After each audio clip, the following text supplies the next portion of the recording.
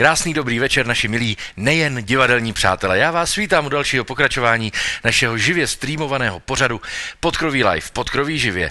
Tentokrát eh, se podíváme na následující dramaturgický plán, ale ještě předtím vás seznámím, co bude eh, probíhat. Samozřejmě budeme soutěžit tentokrát o tuto krásnou, krásnou eh, roušku z našich divadelních krejčoven. Ano, zdravíme Lumču, dobrý večer, dobrý večer, děkujeme za pozdrav. Tedy budeme soutěžit, budeme cvičit s Ebou. No a teď už nezbývá nic jiného, eh, než eh, sem pozvat dnešního hosta.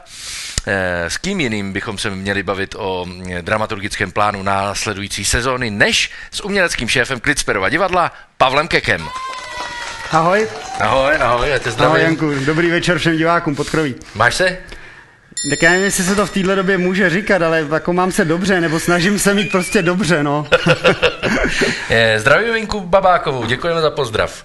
Eh, eh, přece jenom, pravidla se rozvolňují, divadla se rozžívají. Zaplať pámbu. Zaplať pámbu za to. Mm, už nejsi jenom na horách? Ne, ne, ne, já vlastně jako jsem se vrhnul zpátky do toho mýho hlavního, to je tedy režie, takže já jsem ještě měl z té předchozího období domluvenou práci v Olomouci, která se musela o dva měsíce odložit, ale mhm. vlastně jsme v pondělí začali tak jako Klitsperovo divadlo a jako vlastně většina divadel. Mm, a na čem pracuješ, jestli se můžu zeptat? No, je to vlastně výzva. Diváci možná znají film Nedotknutelní. Eh, francouzský scénář se podařilo Olomouckému divadlu získat autorský práva, takže je možnost uvést vlastně poprvé na světě na divadle Nedotknutelný. No a je to výzva, ale zároveň je to dobrý v tom, že to je komedie, že to má v sobě nějaký prostě humor, což je v dnešní době prostě důležitý, takže se na to vlastně těšíme všichni, co tam na tom pracujeme. Zdravíme pana ředitele Zlínského divadla. A, Petře, ahoj. ahoj, Peťo. Eh, no tak jo, tak eh, my se nejprve podíváme na ty nové, kteří k nám sem do mhm. divadla přišli. Něco si o nich povíme. Je to jediná možnost, jak je teď představit, protože na jevišti je zatím neuvidíte. Jasně. No a pak se budeme věnovat tedy tomu dramaturgickému plánu.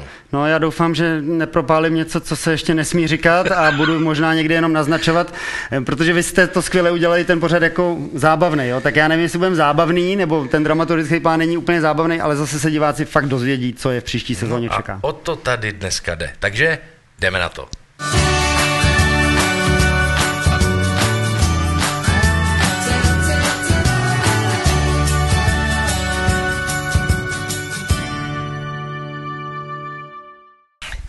A jsme zpět. Jsme tady s Pavlem Kekem, uměleckým šéfem Klitsperova divadla a budeme si teď povídat o nově přiševších kolezích a kolegyních.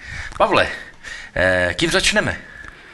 No tak vezmeme to asi chronologicky, tak Dobře. jak vlastně přicházely, protože jsou to obě dámy a někteří už ji mohli vidět ve Velkém Gatsbym. Uh-huh.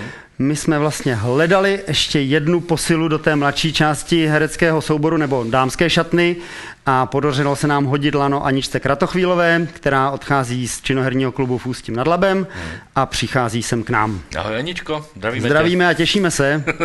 Je fakt, je, že hrozný prostě přijít do angažmá, nastudovat inscenaci, zahrát jí tuším třikrát. Třikrát, ano. Pak stát. hmm. eh, když si vybíral Aničku, vybíral si podle typu eh, nebo naturelu, jak, jak si, hm, po, čem si, po čem si pátral, co si hledal? No já jsem hledal vlastně jako úplně jinýho. ale to ona ví, jo. Ale eh, jak si věci se daly nějak do pohybu a, a v tu chvíli bylo potřeba a najednou se pak ukázalo, že u ní by to nemusela být pouze jednorázová spolupráce a že vlastně, když jsme už trošku viděli ten výhled do těch příštích sezón, hmm. tak mně došlo, že tuhle herečku tu ještě upotřebíme a uh, ona byla na tom konkurzu famózní, takže hmm. vlastně musím říct, že to obhájila a že, že mm, najednou jsem si říkal, jasně, vlastně máme tady i trochu podobný typy, ale to je trošku zdánlivá věc. Ve chvíli, kdy pak toho člověka poznáte, tak on, ten herec je variabilní, to znamená, myslím si, že je zajímavý právě, když hraje trochu proti tomu typu a Anička se do té skladby hodí. Uh-huh.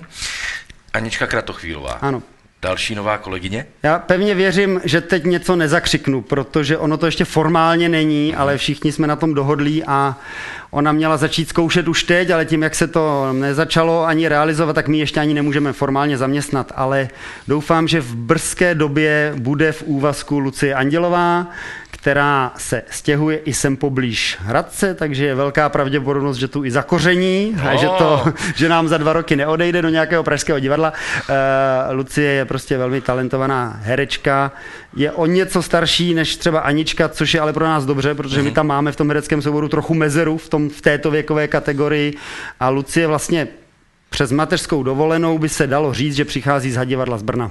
A je to, je to herečka. Hmm. Eh, ty máš, eh, vlastně tvojí povinností je o ten ansámbl herecký se starat. Hmm, je zásadní to, co, o čem jsi mluvil, to věkové rozložení toho eh, ansámblu, aby bylo rovnoměrné? Je to vlastně zásadní. Je to, je to jakoby stěžení pro to, aby tohle divadlo mohlo dělat tu dramaturgii ty hry, který myslím má trošku v popisu práce. A fakt je ten, že odchod nějakých kolegů a kolegyň to trošičku jakoby posunul tak, že nám opravdu některé mezery vznikly a postupně je zaplňujeme. Uh-huh. Zároveň já chci, aby každý herec, herečka, kteří sem přijdou, byli opravdu jako posilou pro tohle divadlo. To znamená, je to takový velmi pečlivý výběr a, a prostě to Klicperovo divadlo má prostě dobrou pověst. Jo. A takže já, já to to mám nastavené vlastně dost, dost, dost jemňounce, ale zároveň si dokážu představit, že ještě i v té jako vaší kategorii chlapských, těch zvaných středáků, by se tady dobrý herec ještě velmi uživil, ale těch je prostě jako šafránu. To si, ano, to již si nejsem nejde. mladý, no. Již jsem, již Postupně jsem začít, třeba se přehrávat. No, takže ano, jako ideální stav nebude nikdy, ale co se třeba říká, že dobré české divadlo by mělo obsadit uh, furianty. Mm-hmm. Že by tam mělo mít všechny ty role, které tam ten Stroubežnický napsal, což se nám, ergo teda ještě v tu chvíli vám, to jsem tu ještě nebyl vlastně podařilo, takže jsme víceméně jako plný, to je tak akorát. Jo. E, do divadla, do toho týmu divadelního našeho samozřejmě nepatří jenom herci a herečky, ale také ti, kteří se starají o to, aby bylo co hrát, aby e, byli připraveny mm, texty k inscenování. No a k nám přichází taktéž nová posila do dramaturgického týmu. Hmm. Myslím si, že eh, je logické, že se to stalo nutností, protože odešla Máša, hmm. která tu byla na půl úvazek a částečně ještě jakýmsi taky záštitou té dramaturgie byla Jana Slouková, hmm. protože ona je vlastně vzděláním, povoláním dramaturgině a skvělá dramaturgině. Takže tady vznikl najednou opravdu bílé místo. No je tady a, s námi Martin Satoranský. Ano, že? ano a, a k Martinovi jsme potřebovali ještě ještě jednoho, protože těch premiér v roce je sedm, teď většina z nich je ještě takzvaně ve dvojáku a prostě toho Satoranského nerozpůlíte, byť on tedy jako je velmi výkonný a teď udělal spoustu práce. Děkuji Martine za ní, protože to teď bylo na jednom člověku, ale pro mě je důležitý, že je to dramaturgický tandem. Nejen z toho, že tu práci můžu lépe rozdělit a oni se tomu můžou věnovat opravdu naplno, ale já myslím, že ta dramaturgie společně s tím režisérem, šéfem je nějaký kvas, kde je dobrý když je víc hlav, mm-hmm. který se jako nepozabíjejí, mhm. dokážou si ty věci vyargumentovat. Je taky dobrý, když jsou rozdílní, protože ty názory pak do sebe dobře naráží. Takže já jsem rád, že můžeme přivítat dramaturgyni, ženu, tím se to vyváží i genderově, k Martinovi přijde Lenka Smrčková, což Eh, já nevím, jestli to takhle můžu říct, ale je to vlastně dramaturgině, kterou já jsem kdysi přivedl do Boleslavy, pak jsme se zase chvilku rozdělili mezi v té fázi, kdy jsem byl v městských divadel pražských, ale já len se prostě velmi věřím, máme za sebou jako velký množství inscenací a tak jsem jí z té Boleslavy takzvaně stáhnul, omlouvám se Boleslavákům, ale, ale měl jsem na to nějak právo morální a, a Lenka, Lenka jsem chtěla, protože myslím, že, že ta dramaturgie, která se v Klicparáku dělá už leta, leta, leta, jí prostě oslovovala a myslím, že k ní přinese zase něco svýho. Takže těšíme se na linku. A my zdravíme Jirku Zapletala, který se ptá, kdo objedná pizzu. Tak mi něco objednejte. Jiří, dneska ty. Dneska ty. Děkujeme. Hladový herec Jiří Zapletal. eh, sezona jako taková, respektive každá z těch sezon eh, by měla mít nějaký cílení. Eh, mělo by to být nějaký téma, podle mého názoru. Pracuješ takhle na plánování těch sezon? Hmm měla a nemusí. Eh, Jasně. Myslím, že to není jako úplně rigidní, že by to tak eh, muselo být vždy. Na druhou stranu pro nějakou, jednak jako i mojí nebo naší vnitřní čitelnost toho, co v tom roce budeme takzvaně brát na paškál, pro nějakou čitelnost taky směrem k tomu obecenstvu, k tomu publiku, k těm divákům, je myslím fér, když máme nějaký společný jmenovatel. Uh-huh. Ale pozor, my jsme divadlo městského typu a my ten jmenovatel musíme mít velmi široký. Musí to být prostě zobecněný nějaký téma. My si nemůžeme dovolit to téma tak zúžit a pak udělat sedm inscenací o teď plácnu migrantech, protože toho by bylo fakt příliš a ty diváci by vlastně neměli ten široký výš toho repertoáru. Takže uh, ono se to někdy dělá tak, že se nějaké téma tak jako nadhodí, pak se k tomu vybírají tituly, pak se samozřejmě to téma ještě třeba i maličko promění, nebo se naopak promění ty hry. Ale vlastně můžete se vlastně spolehnout, nebo to spíš říkám divákům, že vlastně se snažíme o to, aby následující sezóny vždycky tento společný jmenovatel, já tomu říkám jako moto, takový zacílení tematický měli, ale aby zároveň to téma bylo natolik široké, že v něm uvidíte velkou spektru, velké spektrum her od, od komedií po tragédii, od historických po současnost a tak dál. Ale všechny takový svorník té gotické klemby, prostě je to společné téma.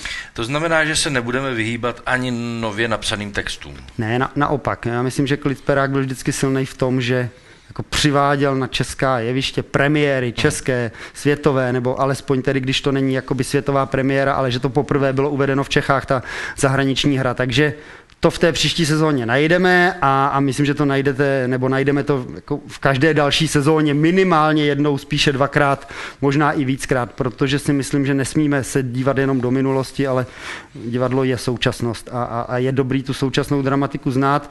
Byť já jako osobně mám s tou současnou dramatikou někdy trochu problém.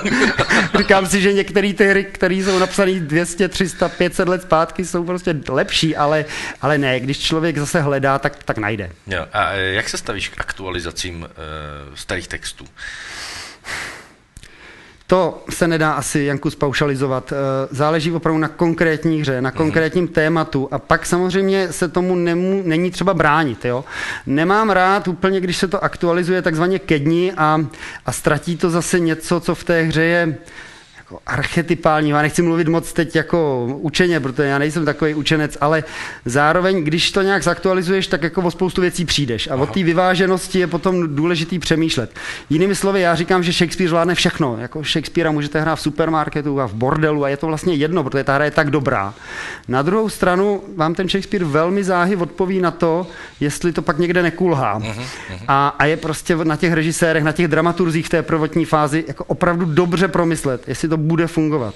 Já mám občas pocit, že ten nápad je prvotní a trošku se nedohlídne k tomu, kam to pak směřuje a jestli ta hra tím třeba jakoby nesploští. Ale jak říkám, to je opravdu na každém režisérovi, na každý hře trochu je to vždycky ad hoc té dané situaci. Pokud se to nepodaří, tak eh, potom eh, kolega Filip Richter moc říká, eh, že to bývá těžké namlouvání. no a my si teď půjdeme zacvičit s Ebou.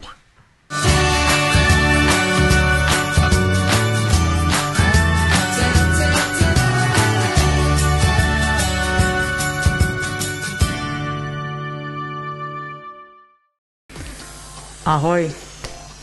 Už jsme si procvičili, posílili přední stranu stehen, tak dnes je na řadě zadní strana stehen. Připomeneme si cvik, který jsme dělali na základní škole. Od té doby ho pravděpodobně nikdo nedělal. Ale je to fakt, fakt super. Ten cvik je holubička. Takže postavíme se na jednu nohu,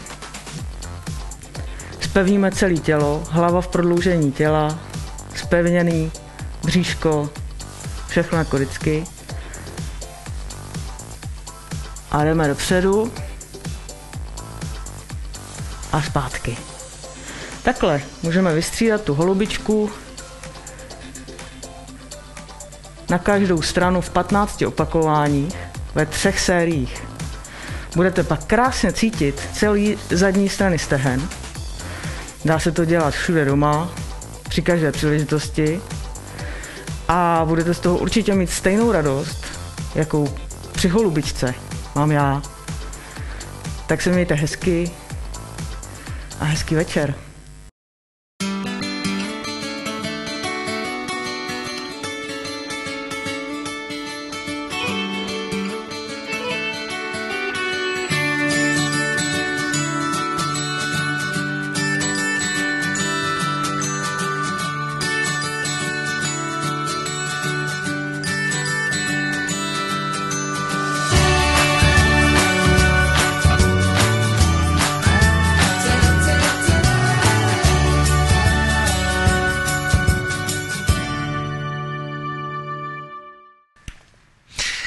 Zpět u nás v Podkroví Live, v Podkroví živě, tentokrát s Pavlem Kekem. A podíváme se konečně na to, na co všichni jistě netrpělivě čekáte, a tím je dramaturgický plán na další sezonu. Pavle, No, Jsme jako breakpoint je to pro mě. Samozřejmě i toto je nestandardní říkat to v přímém přenosu eh, ve streamování, protože normálně to vydáváme s tiskovou zprávou a tak dále. Jenomže no to už všechno mělo být někdy koncem března a my už to nechceme držet pod pokličkou, už to bublá, ale a samozřejmě... je exkluzivní přece. Je to, je to, je to vlastně krásný. exkluzivní jenom a, pro vás, kteří se díváte. A velmi záhy přijde i to všechno okolo, ta kampaň směrem k tomu dramplánu celé sezóny. Pojďme se podívat na tu první inscenaci následující budoucí sezóny. Já se možná ještě, Janku, vrátím k tomu, že pojmenuju to téma, o kterém jsme mluvili v tom předchozím vstupu. My jsme si na tu příští sezónu to pracovně pojmenovali hrdinové nebo zbabělci. Teď doufám, že se diváci nevyděsí, protože to nevnímáme pouze tak, Jestli se národ český zachoval v dějinách mnohdy hrdině či zbaběle, o tom myslím už bylo napsáno a nadivadelněno hodně. Byť se tomuhle tématu a tomuhle ohlédnutí za tou českou minulostí asi ve dvou titulech nevyhneme a naopak to chceme, ale vnímáme to téma i v tom, jak jsem mluvil, širokém obsahu, to znamená, je to i velmi privátní, intimní, je to o tom, jestli, nevím, člověk na drogách, který utíká před světem je zbabělec nebo hrdina z, jisté, z jistého pohledu, jestli člověk, který uteče z chomoutu, je zbabělec nebo hrdina a tak dále. To znamená, nemusíte to vnímat jenom v té celospolečenské rovině, ale právě i v té privátní. A já si myslím, že ono to tak zní, hrdinové nebo zbabělci, ale Teď to vlastně děláme denodenně. Ty malá rozhodnutí, některé naše jsou trochu zbabilá, trochu hrdinská a i s těmi všemi činy, které jsme za život udělali, se musíme nějak vypořádat a nějak si odpovědět, jestli jsme se nechovali třeba trochu zbabile.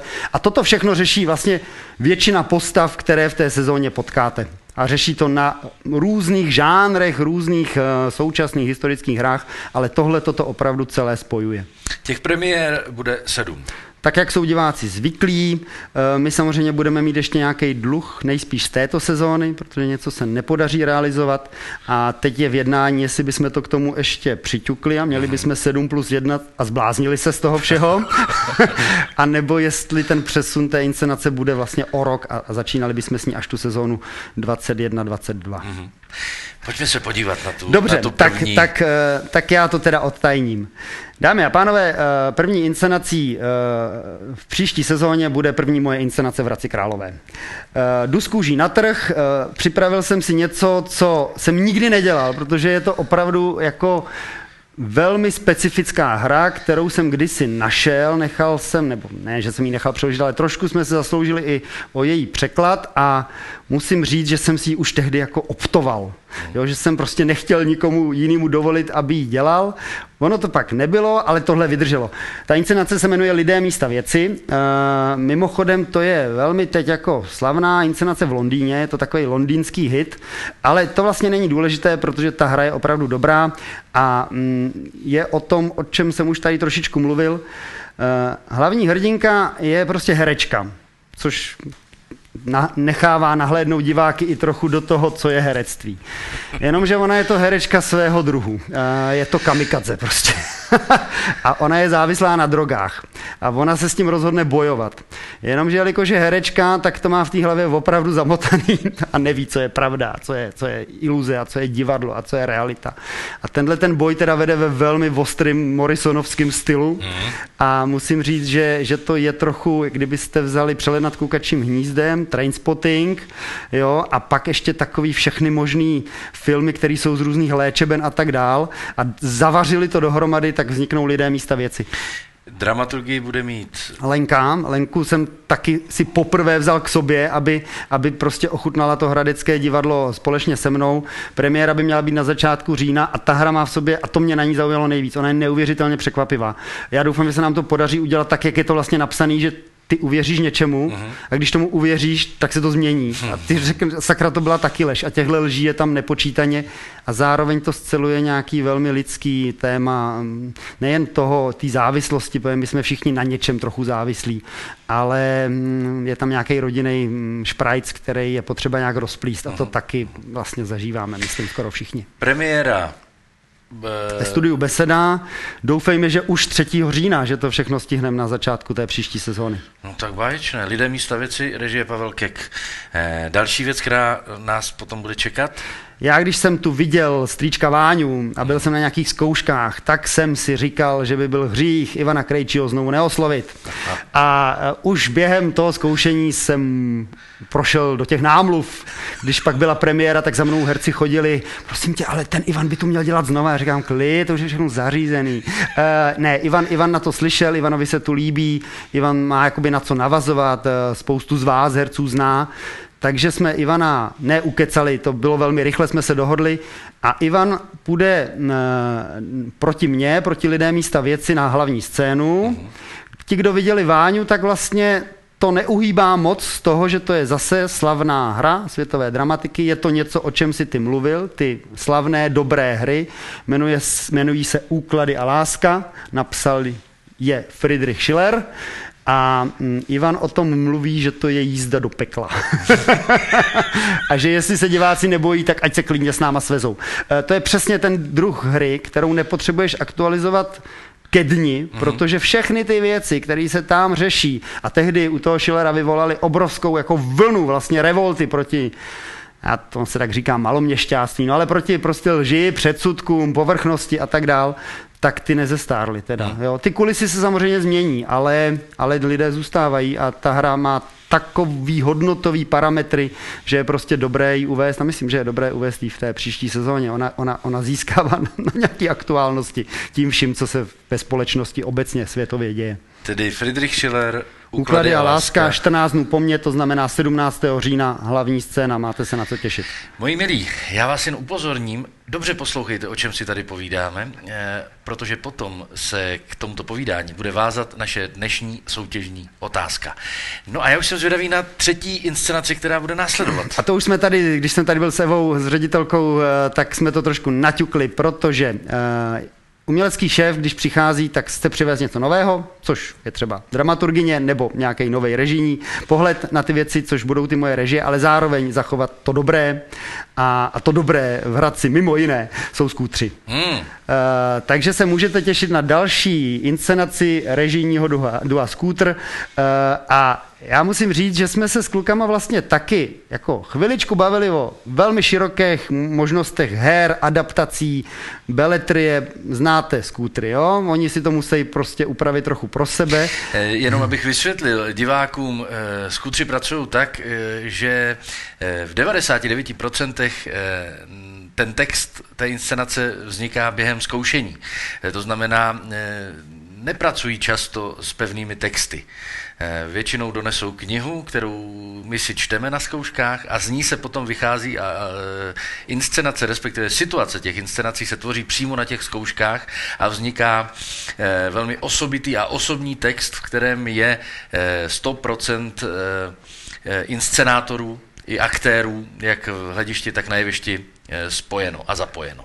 Hmm? Ty jsi to řekl přesně, ty bys měl být kritik. No, uh, uh, no ale ale, a já jsem, ale já jsem skutry nalákal na pevný dramatický text. Hmm. Respektive takhle, v tom, v tom, v té změti těch her vznikl nějaký konsenzus na nějakých autorech a pak jsme najednou vlastně objevili, to je opravdu jak rýžování zlata, jo? to prostě má to, na, tý, na tom talířku toho hodně a najednou tam ten krystalek někde za, za, zastříbří se.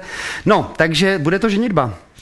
Gogol, komedie, ale myslím si, že skútři to pojmou po svém. Nicméně mi trošku řekli, že to vlastně nechtějí zase úplně rozebrat na padrť a znova Jasně. složit, že vlastně je ta hra baví právě v tom, jak je napsaná.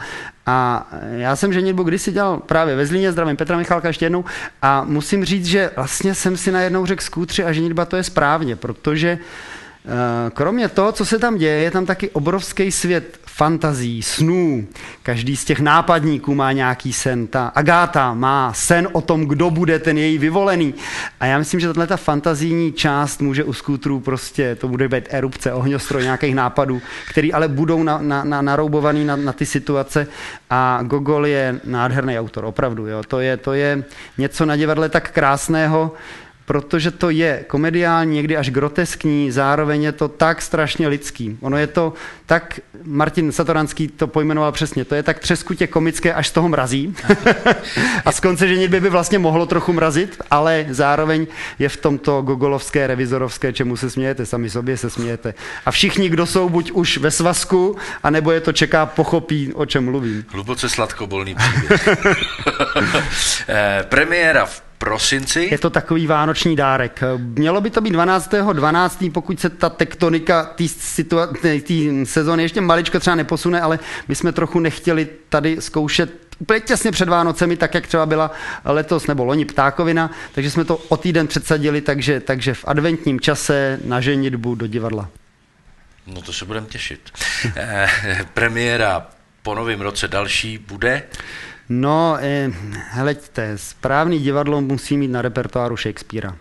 Musí. Jo, musí, musí. A nejenom pro... jednoho, jo. To... Člověče, teda, ty, ty sem sázíš jako samý velký eh, fláky. Jako Schiller, Gogol, Shakespeare. No, já, já, mám jenom strach, aby se ty hradečáci, kteří jsou zvyklí na tu progresivní dramaturgii, jako nevyděsili. Jednak to je plánovaný krok trochu, protože my jsme dernierovali Anu Kareninu, my jsme dernierovali Karamazovi a tak dále. To znamená, my trošku musíme do, dovyvážit ten, dejme tomu, klasičtější repertoár, ale já myslím, že ani úklady, ani, ani skútrovská ženitba nebudou smrdět nějakou konvencí a přehnaným klasickou pietou k autorovi. Uh, a ten další klasik, opravdu William Shakespeare, to je moje prostě životní prostě.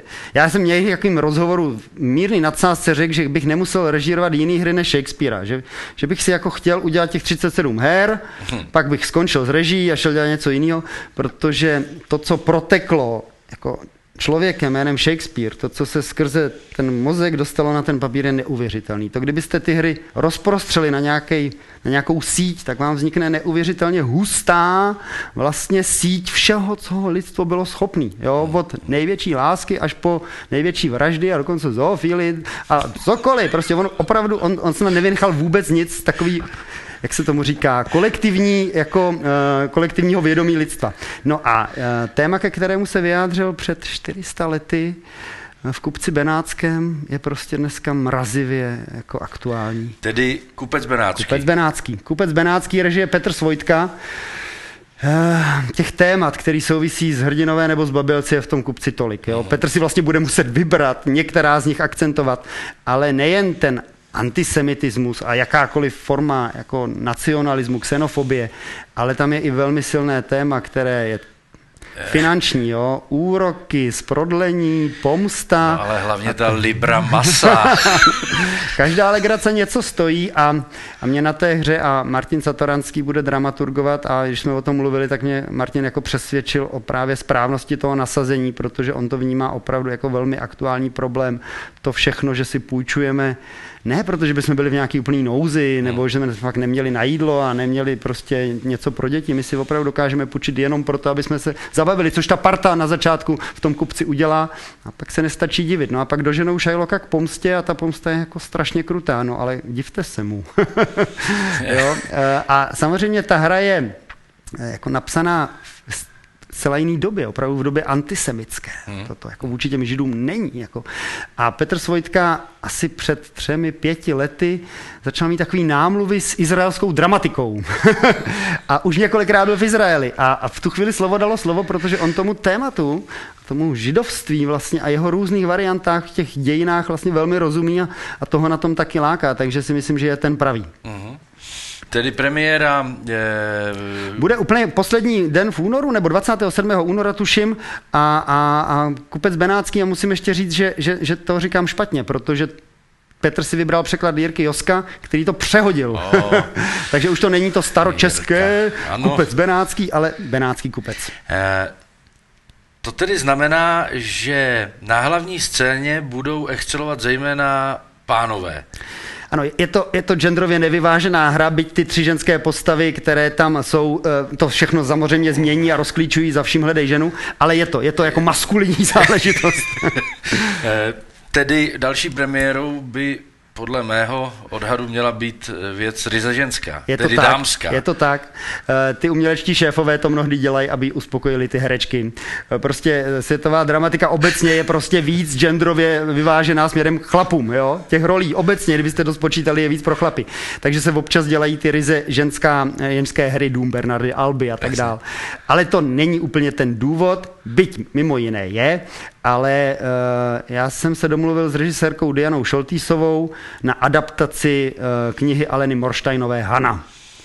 A to je o ženách. Byť v tom románu mužské postavy jsou, ale eh, Diana je, myslím, jako fenomenální ve v práci s herečkama. Ona je dokáže nějak strhnout tak, že to ty chlapi nějak nedokážou. A viděl jsem prostě vlastně tři, tři její inscenace, ve kterých hrály jenom holky. Uh-huh. A, a byl jsem z toho unešený, protože ta energie, já si vždycky myslím, že ty chlapy jsou nositelé té energie na tom jevišti, tak teda bychom měli co dělat, jo. Takže...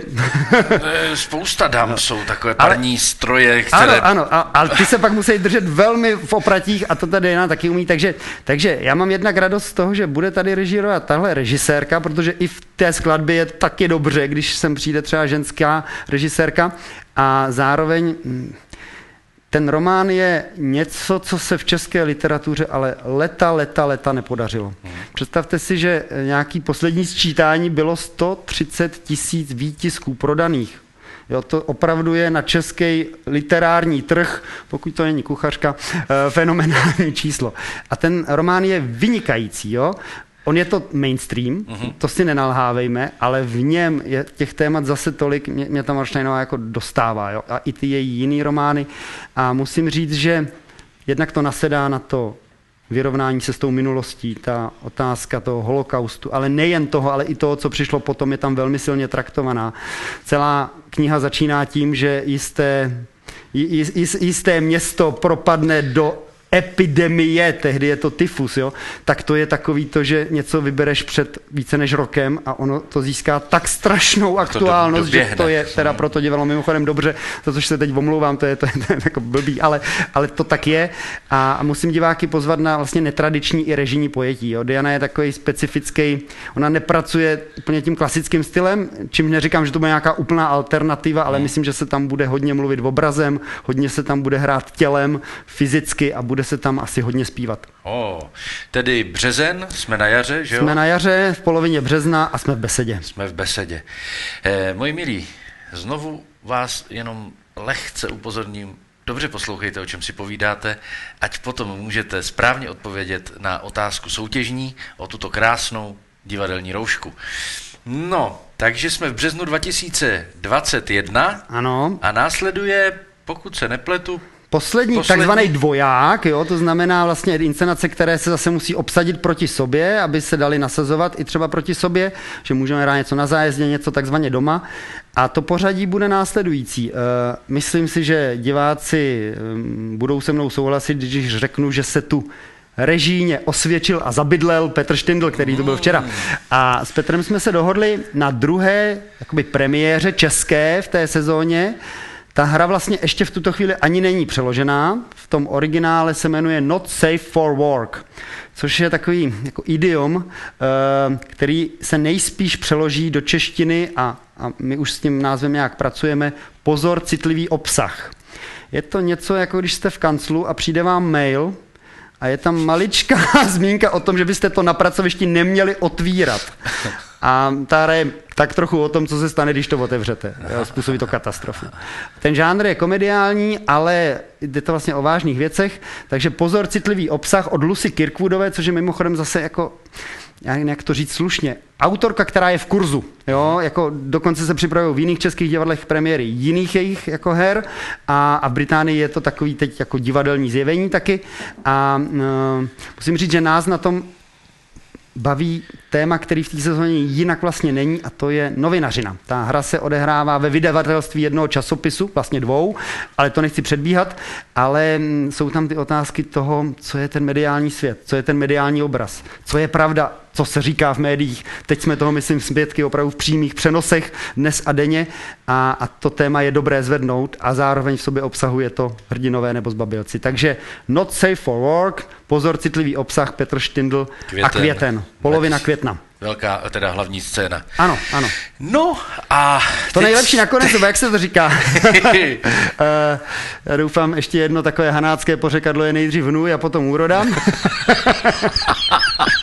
Ale uh, já se na to už teď vlastně těším a prostě přiznám se, že z toho mám trošku staženou zadničku, jo, protože jsem se rozhodl, že, že by bylo dobře, abych vlastně na to jeviště uh, přivedl co nejvíc lidí z tohoto souboru. Uh, Not Safe for Work je trochu komornější věc, což mi umožní vlastně obsadit všechny ostatní a mým úkolem jako šéfa je jako udělat takzvanou ansámblovku. A já jsem ten nápad měl nějak vzadu v hlavě už leta a nikdy jsem na něj neměl odvahu, a teď jsem si řekl, že už je dost zbabělosti a že je potřeba se zachovat hrdině. Ehm, ten název vám napoví, proč se ta sezóna taky tak jmenuje Hrdinové nebo Zbabělci, neboť eh, poslední inscenací je příští sezóny budou Zbabělci Josefa Škvoreckého. Hmm. Mě to oslovilo už v pubertě, jenomže tehdy jsem to vnímal skrze ty Danyho holčičky a ty námluvy a ty flirty a všechna ta touha, jak přijít do panictví a tak dále. Toho jsem byl pln. Eh, když jsem byl pak starší, tak jsem Škvoreckého začal vnímat trochu jinak, jako vlastně autora, který v sobě obsahuje opravdu velký spektrum právě myšlenek o té lidské nátuře, o té lidské povaze, trochu taky o, o Češích a o češství, možná ještě lépe řečeno čecháčkovství, ale Škorecký je velmi decentní, jemný a, a vlastně chytrý, takže to nikdy není urážlivé, je to s velkým pochopením. No a teď bych chtěl ten mladý pohled toho pubertáka a ty holky, plus uh, tenhle ten dospělejší pohled, který tam vidí taky ty uh, celospolečenská témata spojí dohromady a zalejeme to něčím, na co myslím tady diváci taky teď trochu vlastně dlouho čekají a to je hudba, protože Škvorecký bez jazzu to si nejde představit. Takže bude živá kapela? Bude živá kapela. Bude se zpívat a tančit? Bude se mega zpívat a tančit. Bozi drazí, řekneme si s Remigiem Kunou, doufám, že se tam neobjeví. já musím asi už odtajnit, že, že, že vlastně, já nemůžu říct, že bude Mastix na jevišti celý, ale, ale jsme s Davkou uh, domluvený na tom, že vlastně opravdu utvoříme kapelu z tohoto souboru, hmm. možná si nějakého hosta ještě pozveme za některé nástroje, aby jsme vlastně vytvořili ten jazz band, protože jazz band ve Zbabělcích hraje klíčovou roli nejen kvůli tomu, aby koloroval nějakou dobu, ale, ale ti všichni kluci, co tam vystupují v tom románu, vlastně jsou členy té kapely, která hraje tu zakázanou negerskou muziku. a to je trnem pokud těm náckům a posléze i těm komunistům. Uh, já nevím, proč zrovna tyhle dvě uh, podivná společenská zřízení nenávidí jazz. No, možná kvůli té svobodě, která Přesně, no, ta svoboda a tanec a všechno no. to živelné, čeho oni se bojí. Takže a... nás čeká s Lenkou ne, ne, nelidský úkol. My už jsme teď v té pauze eh, vlastně začali pracovat. Zatím je to takový sběr, že se pročítáte veškerým dílem tohoto autora a musíme napsat vlastní dramatizaci. Takže dramatizujete hmm. na téma hmm. literární předlohy uh, Josefa. Josefa Škvoreckého a musím říct, že ten titul byl ještě jako vybrán s jednou takovou ne nedůležitou On je prostě tady. Východočeský kraj, teď se jmenuje Králové Hradecký, ale je to prostě, co by kamenem dohodil. Ten červený kostelec v románu je samozřejmě náchod a, a já myslím, že to nějak tady jako je. Je, je, je to velmi blízko a možná, možná by se to dalo uplést i na Hradec. Prostě děláme trošku domácího autora, který musel teda odejít a, a, a, a utíct do Kanady, tak trochu kvůli zbabělcům. Jo? On to sice vydal o hodně později, než to napsal, ale ty komunisti mu ten román nikdy neodpustili. a, a myslím, že prostě si tím trošku podepsal i ten osud. A máme tady dotaz od Inky Babákové. Tak to je zajímavý plán, jsem zvědavá, Jaké to bude? Respektive pozdrav, taková, taková eh, zdravice. Já musím říct, že je to vždycky zvědavost i jakoby naše. Jo? My samozřejmě máme nějaké plány, ale jaký ty inscenace konkrétně budou, člověk vlastně nikdy netuší. Samozřejmě se snaží udělat všechno pro to, aby všem těm režisérům, inscenačním týmům, hercům a všem okolo umožnil co nejlepší, nejkoncentrovanější práci. A chceme se ve všech těch inscenacích zaměřit taky na to, o čem podle mě je divadlo, a to je vlastně opravdu práce na hereckých jako výkonech. A všechny ty věci, a to můžu říct, myslím, s plnou váhou, v sobě mají neuvěřitelné množství nádherných rolí a příležitostí pro hradecký soubor, aby prostě zazářil. Tedy zbabělci Josef Škvorecký, potažmo Pavel Kek a... Lenka Smrčková, ale s velkou úctou k autorovi a s tím, že možná diváci asi znají postavu Daniela Smiřického, ale je divný, že Zbabělci nikdy nebyli sfilmovaný jako, já nevím, tankový prapor a spousta věcí. On je to ne, nerealizovatelný, ten román. Takže my si možná nějaké dějové linky půjčíme i, i z povídek a z, a z prima sezóny a, a tak dále. Jo. Takže on to bude takový jako trošku vícu z některých ještě dalších škvoreckých děl, ale, ale zaklíčovaný to bude opravdu těmi sedmi dny, kdy Škvorecký popisuje 4. května, to je vlastně teď, až do 11. jak se osvobozoval náchod. Květen 2021, hlavní scéna Klicperova divadla. No a s plnou, s plnou opravdu polní, jako přerůstá to vlastně v jazzový mejdan, jako před divadlem, tak by to mělo vypadat. Jazzový mejdan eh, to, to přerůstá a posléze v červnu by to mohlo přerůst v divadelní mejdan. Ano, e... samozřejmě. Je na čase, no. Jestli něčeho fakt lituju, já samozřejmě tu korona krizi, no, já o tom nenávazně mluvím jako o krizi, prostě je to nějaký stav věcí. Je to stav jo. věcí. E, politici o tom mluví, jako že jsme ve válce prostě s věrem, no válka vypadá jinak s odpuštěním a, a e, myslím si, že je prostě na čase e, se nějak opravdu teď podívat do budoucnosti, protože ten letošní takzvaný divadelňák prostě nebude. E, to nešlo. a i kdyby se to teď uvolnilo, tak už to nejde. To je věc, která se opravdu plánuje rok a, a zhruba v březnu se musí vlastně uzavřít a musí se všechno vlastně už naplánovat velmi konkrétně na hodiny téměř. Uh, musím říct, že to se, toho jsem opravdu zalitoval, protože zejména Martin Satoranský na tom obedl obrovský kus práce a pozval jsem neuvěřitelně dobré soubory z Evropy a tak dále, z České republiky, ze Slovenska. Uh, naštěstí si myslím, že o to diváci nepřijdou, protože nám se podaří ty věci jako přesunout o rok a třeba ještě doplnit něčím, co aktuálně vznikne a bude ještě lepší ale letošní divadelňák nebude, je tak v plánu a komunikujeme s Openairem eh, a s Drakem, že bychom přece jenom na samotném závěru června tak nějak uctili to, že jsme o ten klasický divadelňák přišli. Já musím říct, že pro mě je neuvěřitelná jakoby spruha to, když já tady v Hradci ještě tolik lidí neznám, ale když se s někým dám do řeči a oni pochopí, že jsem z divadla, tak o tom divadel nějakou mluví s tak neuvěřitelnou, ale to je opravdu, to jsem v životě nezažil. Takže jsem pochopil, že, že, že, že velmi olitují, že o to přijdou. Nejen o ta divadla, ale o to, že to město tím opravdu žije. Takže se prostě mm, musíme co nejlíp připravit na ten ročník příští a ten udělat ještě, ještě lepší.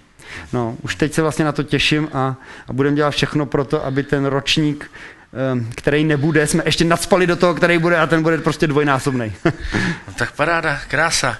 Probrali jsme premiéry, probrali jsme divadelňák a my děkujeme, že jste nám věrní eh, nejen na divadelním festivalu, ale i v Klicperově divadle. Takže díky tomu nebude ani čekání na Václava A, to je pozor, dotaz. Pozor, pozor, bude, bude. Teda doufejme, že bude. Jo. Ta situace, vážení diváci, se mění opravdu každým dnem, což pro to divadlo je jakoby fatální. Jak jsem říkal, ta krize možná přináší v osobních životech i něco z pozitivního, ale pro tu samotnou práci třeba v tom divadle je to teď strašně komplikované. Já vždycky něco naplánujeme, tady všichni dohromady nějak, nějak vlastně k tomu všemu doskládáme ty věci, které je potřeba plánovat a druhý den je to všechno jinak. Ale eh, pokud se něco vyloženě nezhorší tam, ta epidemiologická situace, tak eh, čekání na Václava bude.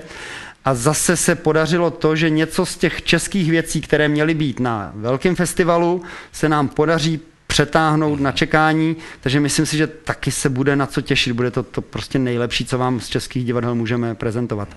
Mm-hmm. Tak, no a my se teď dáme do soutěžení o tuto krásnou divadelní roušku.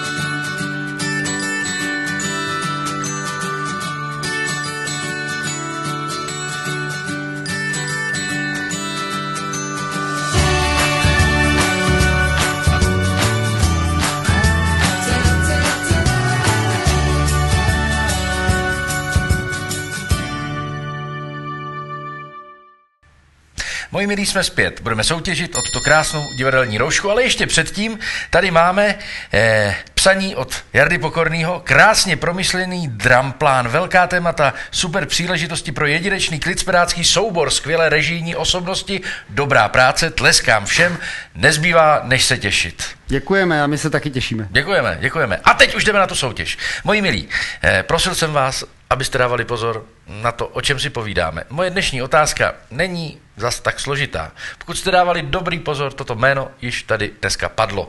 Eh, ptám se na to, kdo je autorem literární předlohy eh, poslední premiéry následující sezóny, kterou jsou Zbabělci v režii Pavla Keka, tak se ptám na to, kdo je autorem literární předlohy k této inscenaci. Soutěžíme o tuto krásnou krásnou roušku. Není to slavistická rouška. Má to modrý klín, Jiří. Má to modrý klín. Je to eh, rouška, která se samozřejmě jak jinak váže k dnešnímu, potažmo zítřejšímu eh, výročí a slavnému dni. Já se tedy ptám, kdo je autorem literární předlohy k poslední premiéře následující sezóny, která se jmenuje Zbabělci, kdo je autorem literární eh, předlohy k této inscenaci? Režíruje Pavel Kek, eh, bude to velká obsada, jak si říkal, eh, bude tam muzika.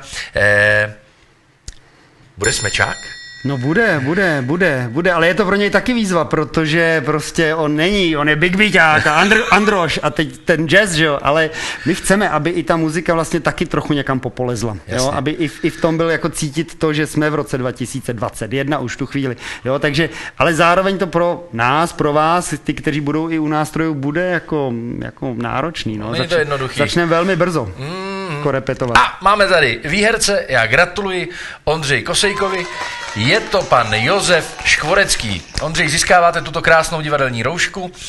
Napište nám, prosím, do eh, soukromých zpráv svoji adresu, my vám ji zašleme, nebo eh, se s námi spojte přes soukromé zprávy a můžete si ji vyzvednout na eh, naší divadelní vrátnici. Moji milí, co mělo být řečeno, vlastně řečeno bylo, teď už zbývá jen se s vámi rozloučit. Pavle? No, snad ještě zbývá říct, že prostě jakmile to půjde, tak otevřeme. A ano. Eh, zatím ty vládní nařízení a doporučení a všechny možné omezení neumožňují kvalitní hraní a ani pro ty diváky jako komfortní sledování toho, té dané reprízy toho daného představení. Věřte nám, že s plnou váhou říkám, že my bychom chtěli hrát zítra, dopoledne.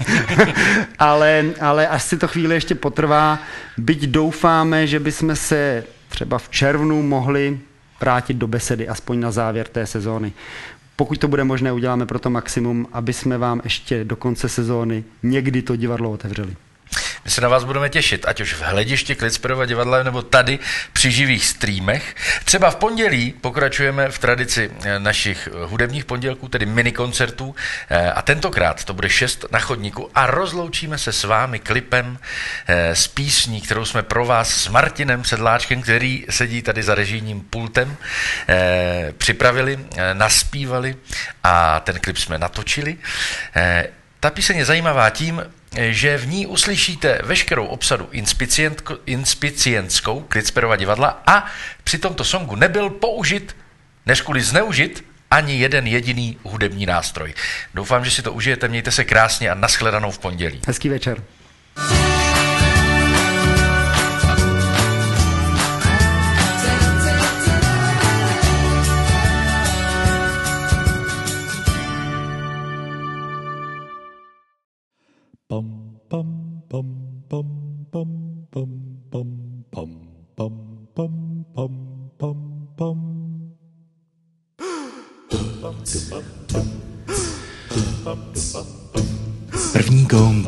My nejsme připravený, první gong, diváci nastoupený, gong, byl první gong.